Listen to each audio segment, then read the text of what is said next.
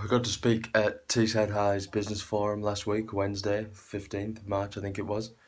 Um, really cool to sit and uh, talk to a bunch of business people and some really, really good friends who came out to support me.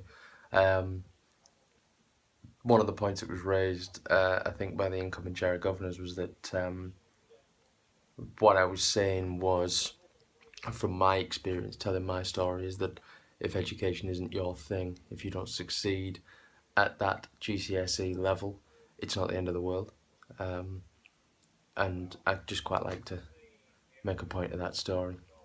I'm not saying that education isn't an answer, that, that you know isn't part of your future, particularly if you know where you want to go, and that requires a, um, a university degree. You've got to do that.